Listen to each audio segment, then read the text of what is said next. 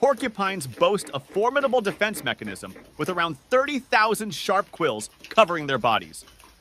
Contrary to popular belief, they cannot shoot these quills, but will raise them when threatened, making it difficult for predators to attack. Despite their intimidating appearance, porcupines are herbivores, primarily feeding on bark, leaves, and other plant materials.